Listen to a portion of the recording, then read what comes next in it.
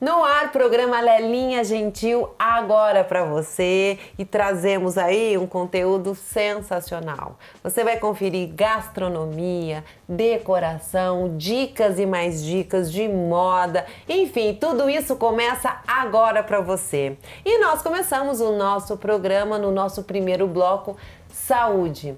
Hoje nós vamos falar sobre as mulheres a mulher que agora está em casa, todas as funções que envolvem as mulheres. E por que falar das mulheres? Este final de semana é Dia das Mães, é isso mesmo, domingo, Dia das Mães, um dia muito especial e um Dia das Mães diferente. Na quarentena teremos aí muitas e muitas comemorações de um modo diferente, mas com certeza com muito afeto. E é disso tudo que nós vamos falar com a nossa convidada, a psicopedagoga Juliana Barbosa. Juliana, um prazer te receber novamente. Muito obrigada. Aqui. Ah, eu que agradeço a sua presença hoje para falar das mulheres, para falar deste momento de Sim. quarentena, essas mulheres em casa, trabalho, filhos, como é tudo isso e juntamente com tudo isso, Dia das Mães. Sim, muitas emoções, né? Muitos sentimentos e algo que é fisiológico com todo esse contexto, essa mudança, estamos passando não a nível nacional, a nível mundial. E a mulher que é responsável pela vida e pelo amor e pelo sucesso dos filhos, sucesso de outros também, né? Seja como empresária, seja como mulher também, né, esposa, namorada. Então é um contexto que é preciso olhar com muita, com muito conhecimento, com muita sabedoria e com menos julgamento. Agora é uma hora de acolhimento. Essa mãe, essa mulher, em, em todas as idades, porque a mulher nasceu, né? Ela é fadada ao amor, ela é fadada a amar imensamente. E agora é hora de equilibrar tudo isso no meio do caos. É. Então é necessário falarmos sobre, sim, com muita, muito afeto, com acolhimento e sabedoria. Bom, você já falou, ah, ah, só nesse começo aí já vieram três, quatro, cinco perguntas que a gente vai correr aqui com a nossa, com o nosso roteiro, digamos assim. Sim. Mas eu não posso deixar de perguntar rapidamente duas coisas principais aí que me chamou a atenção nessa, nessa primeira resposta sua. Caos. Então Sim. queria assim, estamos num caos, né? Estamos. Estamos. Temos que olhar e assumir essa, né, olhar com amorosidade, né? Tudo tem aprendizado, mas precisamos assumir que estamos no caos. O que você diria que representa o caos? Muitas informações ao mesmo tempo, e dentro de um contexto político não saudável, né? Nós estamos com falta de líderes com maturidade, com responsabilidade e com pessoas que, como eu, você, como as mães e as mulheres que estão em casa, precisando de palavras com mais acolhimento, com estatísticas reais e muito fake news, muitas informações incorretas. Então, nesse momento, olhar para tudo isso, procurar validar né, o que sente, ter um companheiro, chama atenção aí para os parceiros, os namorados, maridos, que apoiem as mulheres, porque nesse momento elas se sentem responsáveis por tudo, né? Para o trabalho, para, para com a família e consigo mesmo ela tá. Ela não está no isolamento, né? Qual o momento da quarentena que ela vai estar só? Isso eu digo até por mim, que olhando os dias que eu fiquei comigo mesmo, foram horas. É, é isso mesmo. Eu acho que as mulheres têm toda essa questão. E mais uma pergunta. Julgamento, né? Você usou esse termo. Sim. É possível não julgar?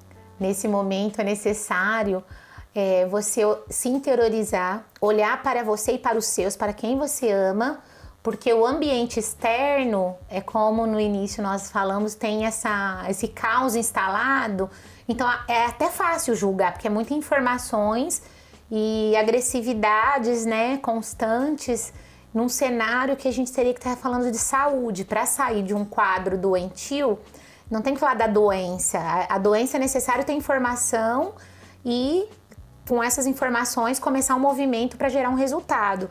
O foco seria em saúde.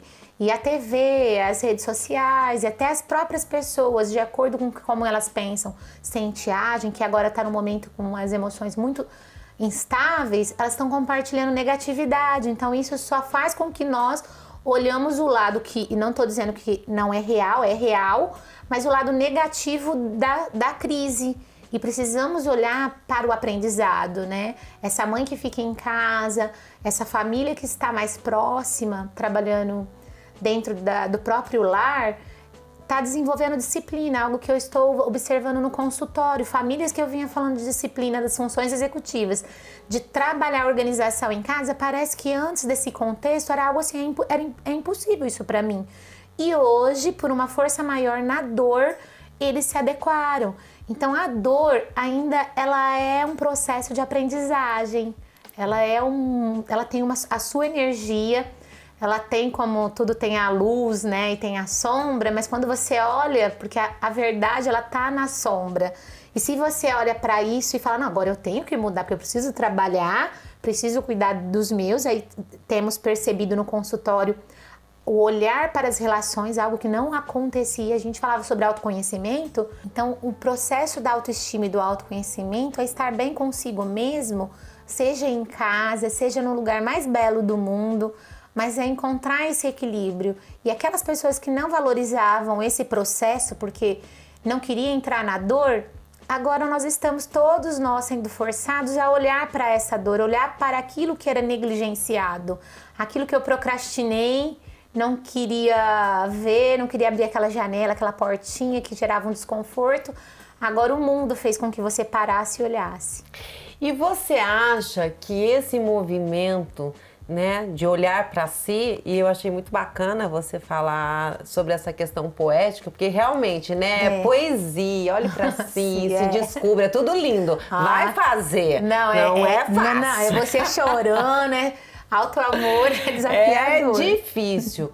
Você diria assim que nesse momento as pessoas elas estão na dor, na, digamos assim, na falta de opção, se deparando com elas mesmas, por conta delas estarem nesse isolamento social, você acha que esse momento da quarentena, esse momento de isolamento social, esse momento em que as pessoas estão em casa, faz com que elas entrem em contato com elas mesmas? Por quê? Qual que é a diferença? O que, que você acha que essa situação do momento faz com que efetivamente a pessoa precise ter este contato diferente de antes? O mundo, quando né, surgiu o Covid, começar, começou a, a fazer todo o chamado para ficar em casa, na primeira semana muitas pessoas comemoraram, considerando que seria algo muito prazeroso, saudável, até porque precisavam de descansar.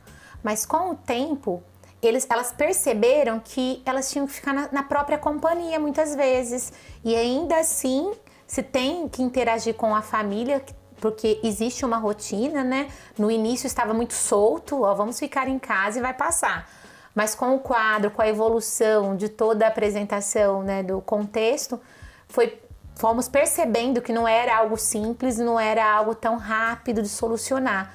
Precisamos valorizar todos aqueles que estão à frente, né? Gratidão a todos que estão trabalhando, mas quando paramos gerou uma inquietude, porque na primeira semana estava tranquilo, aceitável, né? Eu aceito ficar em casa. Estou até Aceito precisando e gosto, e gosto né? da ideia. Aí na segunda semana já começa, é como férias, né? Todo mundo espera aquele momento da férias, mas a férias você tem um programa, você tem uma expectativa sobre aquilo. O caminhar para as férias é um processo de um trabalho que você fez durante o ano todo, então é, é prazeroso e, e tem o seu reconhecimento. Quando percebemos que não era férias e que a vida tem que tinha que caminhar, tem que caminhar dentro, né? A gente fazer o nosso possível com o que temos, começou a aparecer aquela falta de habilidade que eu não desenvolvi. As pessoas começaram a olhar para aquilo que é valoroso, que valoroso é aquilo que o dinheiro não compra. Mas quando a gente fala, né, que as relações, o afeto é extremamente importante e que algo que é comprável não mensura com esse amor e a criança que está em casa ela quer mãe compra isso mãe compra aquilo. E quando a criança quer que compra muitas coisas tá ligado à falta de validação das suas emoções do seu sentimento. Então quando ela percebeu isso aí a pessoa olha tantas mulheres quanto homem olha para si e fala não eu, eu não sou tudo aquilo que eu pensava porque não tinha parado para pensar sobre isso. Porque autodesenvolvimento autoconhecimento é preciso introspecção então, os temperamentos mais introvertidos conseguem isso com facilidade, né? Tanto que os melancólicos ficar em casa não é um desafio. Os fleumáticos amam também a paz do ambiente, do quarto, da, da casa dele. Mas as pessoas que são extrovertidas e que são extremamente sociáveis, ela foi forçada a parar, olhar para si e tirar o melhor dentro do contexto. É, gente, é complexo, né? Poxa, esse assunto, olha, você vê que uma perguntinha aí, ela vai embora e realmente é muita coisa para falar.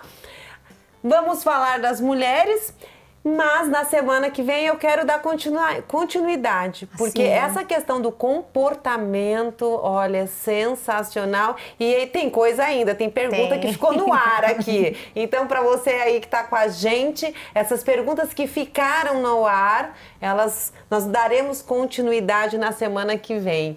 Agora, vamos falar de mulheres, das mulheres dentro deste contexto uhum. todo. Muito bem. Aí elas entram em contato com elas mesmas. Existe toda essa coisa, essa coisa, essa questão complexa, né? Sim. E aí, como lidar com tudo isso? Trabalho, filho, filho que não está indo para a escola, o marido que também está em casa. Sim. Como é que essas coisas estão se desenrolando?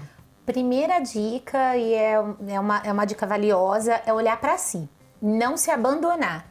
A função mulher, que tem a função materna, a função esposa ou namorada, função profissional, mas a primeira que a mulher abandona é a si mesma, é a função mulher. Parar de se cuidar, do autocuidado. E quando a gente fala do autocuidado, a gente não está falando do investimento alto, não. É de olhar para si, para suas necessidades, né? Se gosta de fazer uma leitura, ter o momento da leitura, se precisa fazer uma atividade física de 30 minutos, fazer sua atividade física é encaixar a função mulher e colocar nesse guarda-chuva como prioridade, a primeira função que ela precisa olhar é ela para dar conta. Ela olhar mesmo que ela tem essas várias funções da maternidade, do relacionamento, né, a dois, do lado profissional, que ela tem prazos para entregar documentos, prestações de serviços que está ocorrendo em casa, é necessário ela não descuidar dessa função mulher, de olhar para si, de fazer o que dá para ser feito. Não vai ser perfeito, né? Nós não estamos indo nos salões. É não tá tão Mas prazeroso. Dá pra se arrumar em casa. Mais nada. É, eu vou te dizer. Improvisar. É, isso eu acho que é uma coisa importante, sim. sim. A tendência de quando você está em casa, você fala assim, ah, vou arrumar meu cabelo, uhum. ai, que preguiça, faz um rabinho, ah, não vou me pintar, não vou é. pôr roupa. Agora, você veja como as pessoas se arrumam para os outros. Sim. É isso, eu acho que isso, assim, apareceu demais para todo mundo, essa questão uhum. de olhar para si. Gente, você se arruma para quem? É para quem te vê. A gente devia se arrumar pra gente. Sim, não pra... só devia, como é, deve, deve né? Nós, é. deve. Então você ir arrumar o cabelo, secar o cabelo, né? Passar lá um batom, uma maquiagem, a gente se sente diferente. É mesmo para né? ficar em casa. Não, para ficar em casa. é. Esses dias a minha filha falou: mãe, onde você vai? Eu falei: não, lugar nenhum. Ela falou: por que você arrumou? Eu falei: ah, é para ficar arrumada. Pra... pra... Sim. Porque não vou ver ninguém, não. Mas enfim, é importante. Pro bem-estar. Né? Agora, dentro de um trabalho que eu sei que você desenvolve, um trabalho sensacional aí com famílias, com crianças, uh, como é que você vê essa situação agora dessa mãe, né, em relação aí à educação dos filhos uh, versus o, o, trabalho, porque antigamente a mulher saía, ia trabalhar, o filho ia para a escola, e aí as tarefas como é que aconteciam, ela ia lá numa reunião, outra na escola, agora, enfim, tudo, to, tudo e todos no isolamento, né? E eu sei que você tem um trabalho aí de uhum. normalmente nas, situa nas situações já ajudar a essas mães, filhos que têm problemas. E agora, como é que tá tudo isso? Agora apareceu algo que estava até um pouco meio que encoberto, que é a responsabilidade da, das mães, dos pais com o desenvolvimento do próprio filho, né? Porque os profissionais, a escola de excelência que presta os serviços e que hoje estão se modernizando e até paralisadas, nós sentimos a falta, terceirizamos muitos de nós, muito dos pais brasileiros terceirizaram a educação e o desenvolvimento para profissionais de excelência ou escolas. E agora a gente está tendo uma percepção que é nós que precisamos, os pais que precisam ter o conhecimento, que é ele que acompanha todo o desenvolvimento do filho. Algo que eu falo para a mãe que é necessário, porque romantizamos muito a maternidade, né? E a maternidade, ela tem a sua beleza, mas ela tem sua responsabilidade, Nossa. que é um amor, eu falo que é um amor de é decisão, porque é na alegria e na tristeza. E você não sabe o que vai acontecer nesse processo. E você tem que trabalhar, a mãe tem que ser aquela responsável para se tornar desnecessária para o filho. O filho tem que se tornar adulto e encontrar a mãe para trocar afetividade, não problemas para resolver problemas, uma vez que já está na maioridade. Então, quando falamos isso, a mãe ela, ela tende a romantizar. Ah, mas ele é pequeno agora, tem 10 anos, agora está na adolescência. Adolescência é assim. Só que desenvolvimento é processo. Cada idade a criança precisa aprender, né, ter uma responsabilidade e muitas vezes nesse espaço, nesse ambiente do consultório, que é necessário a gente dar consciência, havia essa dificuldade. E agora ela percebe, olha, ele não sabe fazer um suco, ele não sabe sentar e concentrar, não tem concentração. E a escola estava trabalhando toda essa responsabilidade né, do, desenvolvimento, trouxe para si, só que a escola ela, ela tem o conteúdo, o conhecimento, mas a educação e o desenvolvimento é responsabilidade da mãe e do pai. Sim, é diferente, né? É diferente. Porque a escola, a, a criança, o adolescente, ele vai para aprender os conhecimentos Sim. que envolve o conhecimento literário, literário no sentido vai lá português, matemática, enfim, todo um contexto, vai desenvolver a socialização. Eu acho que existe um desenvolvimento grande em várias áreas na escola, mas você não pode deixar que a escola e esperar que a escola eduque seu, seu filho. filho é. E você acha que nesse momento os pais tomaram um susto, então? Sim, estamos é, enfrentando uma nova realidade no qual eu vejo com bons olhos que haverá mudança comportamental. Os pais irão buscar esse processo de habilidades que não tinham, né? E processo até de aprender de como ensina, valorizar o professor que tá, estava na escola sobrecarregado com o conhecimento, mas também com essas questões emocionais. Ele, nós estamos aptos a trabalharmos com pessoas e com, com as emoções no sentido de relacionamento, mas estávamos muito sobrecarregados de lidar com a frustração dos filhos porque hoje a criança, quando recebe um não, que é mais é comum, né? O não na vida. Não, faz parte. Faz parte Quantos né? nãos a gente tem? Eu diria que muitos. Que é, diria que são mais nãos do que sim, é, né? Comemora o sim, gente. a gente ganha vários nãos para chegar no sim. Isso exige uma resiliência, uma aprendizagem. Precisamos aprender a lidar com essa frustração até para chegarmos né, no, com maturidade no nosso desenvolvimento. Essa criança que hoje é criança a hora que chegar na fase adulta, ela ter resiliência para conquistar os sonhos que ela almeja, seja carreira profissional, seja ter liberdade de ser quem ela deseja ser, né, por ter um posicionamento pesante à sociedade. Então é preciso desenvolver essa resiliência, deixar as crianças frustrarem. É isso mesmo, é preciso, né? São uhum. muitos nãos na vida e isso faz parte. E como tudo na vida tem o lado bom e o lado ruim, o lado essa encarar essa situação, essa realidade com os filhos, eu acho, aliás, eu tenho certeza que é muito bom, está sendo muito Sim. bom. Então, vamos sair dessa aí de uma maneira muito melhor, muito eu melhor. tenho certeza, por mais difícil que esteja sendo.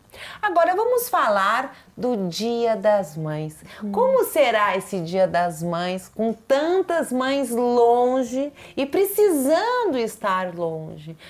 principalmente Sim. às vezes até mães aí, as que já são avós, Sim. essas mais ainda num isolamento social. Como é que será? Como é que as pessoas vão se sentir nesse momento? É, precisamos conectar né, nossas emoções nesse dia com elas, ter toda a gratidão e o reconhecimento, validar toda essa história, porque às vezes tem mães que vão estar em outra cidade, em outros países, né? Mas é possível virtualmente compartilhar esse momento. É interiorizar, né? Uma vez que a mãe ela tem, ela tem já o filho interiorizado no seu coração, fica uma reflexão e uma dica para nós que já somos adultas, somos mães também, ter esse papel de acolher essa avó, interiorizar no nosso coração e virtualmente compartilhar nosso almoço, nosso cotidiano, a nossa alegria no Dia das Mães. É isso aí. Não precisa. A verdade é que esse amor verdadeiro, é. o amor verdadeiro, não precisa estar pertinho, né? Não, já está tudo conectado. Está né? conectado. Então dá para se conectar. Dá, dá para dizer o que precisa, eu acho que é soltar a palavra, é. né? Para aquelas pessoas contidas assim, Ai, que não conseguem falar, fala, tem fala. que falar. Se expressa. A hora, eu acho que é o momento mais importante de colocar a verdade, né, e o sentimento para fora. E semana que vem, então, estaremos juntas novamente, porque ainda temos muita coisa para falar. Sim, e teremos muito conhecimento para compartilhar com você e amenizar todo esse contexto da situação do Covid e da quarentena em casa. É isso aí. Feliz Dia das Mães. Feliz Dia das Mães. E a gente agora fica por aqui, mas nosso quadro Saúde continua. Agora estaremos com o Dr. João Simão, nosso dermatologista.